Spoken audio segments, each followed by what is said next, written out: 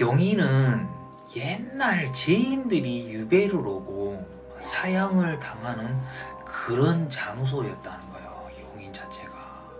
이 멀쩡한 이 딱 봐도 한눈에 알잖아.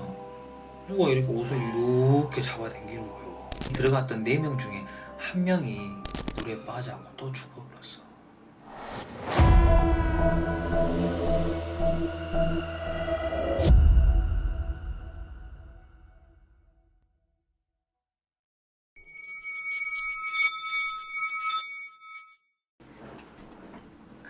안녕하세요.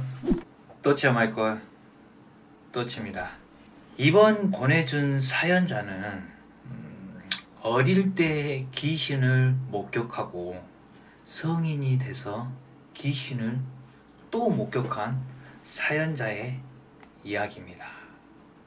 공포 사연 넘버원 지금은 또 마시대 고고고 대략 한 27년 전한 일이에요.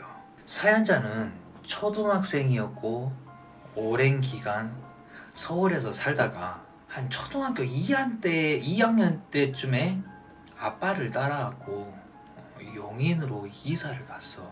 그때 당시 용인은 완전히 시골이었어. 그때 빌라가 이제 막 시- 생기기 시작했고 인구도 조금씩 늘어가는 그런 시기였거든. 사연자의 아빠는 어, 건축 일을 하셨고 인부들 팀을 모아갖고 현장을 관리하는 그런 소장 일을 하시고 계셨거든. 엄마는 한밭집을 하셨고 사연자는 아빠가 지으신 빌라를 한 채를 어, 이렇게 사셔, 사셔가지고 용인에서 살기 시작했어. 집 뒤에는 뚝방길하고 개천이 있었어. 용인집 빌라에 이렇게 살 때 엄마가 희한하게 그 집으로 이사 간 뒤로부터 자꾸 악몽을 꾸셔. 꿈에 귀신이 자꾸 나와 불고 그것 때문에 너무 힘들어했어 엄마가.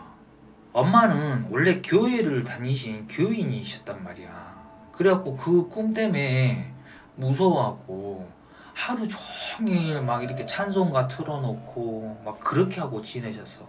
그렇게 지내다가 빌라 앞동 할머니하고 친해지게 됐거든. 근데 그 할머니는 용인에서 알아주는 무당이셨어.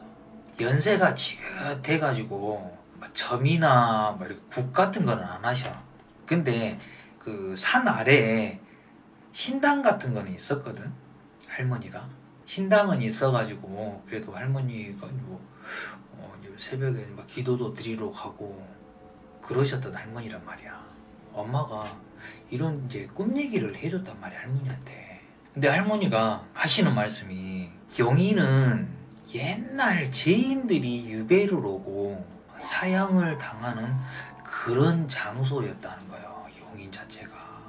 그래서 용인이 터가 세고 기가 세고 유난히 무당들도 많았다는 거예요.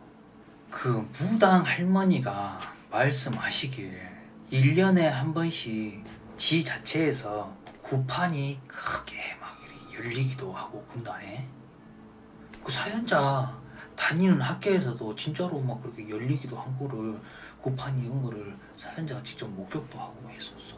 엄마는 그 얘기를 듣고 찬송가를 잊지 않고 매일 한동안 쭉 그렇게 틀어놨거든. 근데 희한하게도 그렇게 악몽에 막 시달리고 했던 엄마가 그런 횟수가 점점점 줄어들었지. 그리고 그 용인에서 살면서 아버지께서 바로 그 앞집에 사는 한 가족하고 친해졌어. 그분들도 분양 하우스에서 집 한 채를 분양 받으신 분이거든. 아빠는 그 엄마랑 나이 그 한 가족이 다 그 이웃하고도 엄청 친하게 잘 지내셨어. 그 이웃 부부는 음, 사이도 엄청 좋았어. 어느 날이었어. 그 부부 아는 지인이 동네 그 큰 길에서 큰큰 사고가 났어. 그런데 그 사이좋은 부부 지인이 큰 사고로 돌아가셔 버렸네. 그래갖고 그 부부가 장례식장을 다녀온 뒤에 일이 생긴 거예요. 하루는 친구들하고 이렇게 해가 질 무렵쯤에 개천에서 막 이렇게 놀고 있는데 저기 앞에 본게 그 사이좋은 부부가 이렇게 산책을 하고 있었단 말이야. 근데 아무리 멀리 떨어져도 그 사람 그 실루엣이 보이잖아요. 손잡고 이렇게 산책을 하고 있는데 인사를 하려고 사연자가 막 이렇게 같이 갔는데 희한한 거를 목격한 거예요 사연자가. 부부랑 같이 이렇게 팔짱 끼고 이렇게 가고 있는데 반대편에서 이 멀쩡한 이 딱 봐도 한눈에 알잖아. 누가 이렇게 옷을 이렇게 잡아당기는 거예요. 근데 그 사이 좋은 부부 그 남편은 이 땡기는 거 자체를 몰라. 누가 옆에 있고 뭐 있도 없거든 아무도. 근데 이렇게 땡기고 있어도 그 남편은 누가 이렇게 땡긴지 어쩐지 그걸 모르는 거예요. 그 개천가 쪽으로 막 자꾸 이렇게 땡기는 거예요 이렇게. 근데 그거를 본 사연자는 그냥 무섭기도 하고 그 사이좋은 부부한테 가다가 그냥 집으로 가버렸어. 근데 이 얘기를 누구한테 얘기를 해도 어차피 믿어줄 사람도 없잖아. 맞지? 이게 뭐 잘못 바꿨지 뭐 바람이겠지. 행 그런 소리 들을까봐. 아이 그냥 얘기하지 말자 하고 그냥 넘어갔단 말이야. 그런데 그거를 목격하고 나서 아저씨가 돌아가셨어. 갑자기. 돌아가시기 전날 밤에 그 사이좋은 부부 그 아줌마도 희한한 꿈을 꿨네. 아저씨가 죽는 꿨어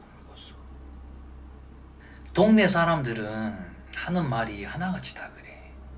그 장례시장을 갔다 온 뒤로 아저씨가 갑자기 돌아가셨잖아. 먼저 돌아가신 그 사고로 돌아가신 분이 아저씨를 데려갔다고 다들 그렇게 믿고 있단 말이야.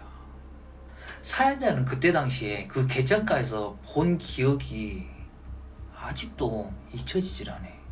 그 개천가에서 항상 친구들하고 놀고 재밌게 하고 그랬는데 우선증이 생겨갖고 거기를 안 가버려 사이좋은 부부는 남편을 그렇게 보내고 한동안 가족들하고 잘 살고 있었는데 그 아줌마가 매일 밤 이렇게 그 죽은 남편이 자꾸 꿈에 나온디야.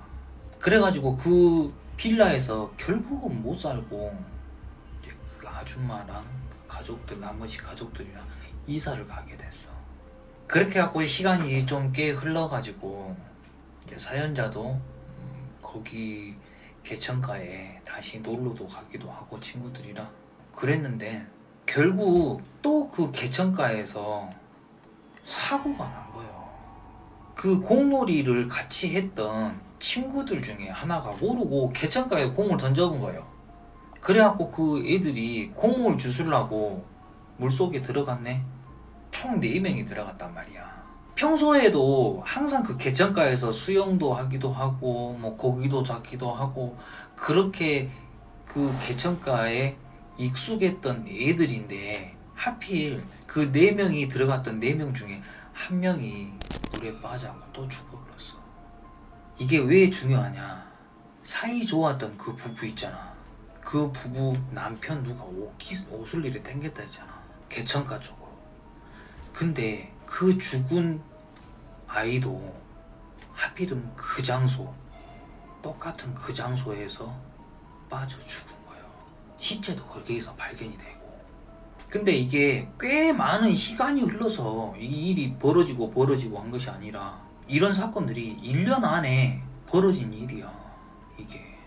그리고 그 뒤로도 그 용인 개천에서 살해된 시신이 발견되기도 하고 큰 도로에서 귀신에 대한 소문도 생겼어. 그, 기, 그 도로에서 귀신도 봤다, 어쩌다, 막 이런 얘기가 자꾸 떠돌아. 혹시 그 용인에 사신 분들, 그런 소문을 들었던 분들이 아마 계실 거예요. 지금 이 이야기를 듣고 계신 분들은. 이게 실화 이야기니까. 사연자는 그렇게 어린 시절을 용인 거기에서 쭉 살다가 성인이 돼서야 그 용인을 떠났어. 사건이 나기 전까지는 음, 어린 마음에 뭐 귀신이 없을 거라고 생각했었거든. 근데 저런 사건이 생기기도 하고 아 내가 이 말을 배워보구나. 사연자가 화장실에서 귀신을 목격한 적도 있어. 그래가지고 교회 목사님한테 이렇게 물었거든. 혹시 귀신은 진짜 있어요? 물어본 게 목사님 귀신이 있다고. 그때서야 이제 사연자는 목사님이 그렇게 말씀하시니까 귀신이 있다고 그렇게 믿고 지금 현재도 그렇게 살고 계세요. 사연자가 이렇게 얘기했어. 비록 사이 좋은 부부 그 남편 옷깃을 땡길 때 형체를 보거나 뭐 귀신을 소리를 들었던가 그런 건 아니지만 지금 와서 생각해도 이거 땡긴 거는 절대 바람이나 그런 것이 아니라 귀신이 땡겼다고 생각하고 있어. 첫 번째 사연이고요. 아, 자, 두 번째 사연 가겠습니다.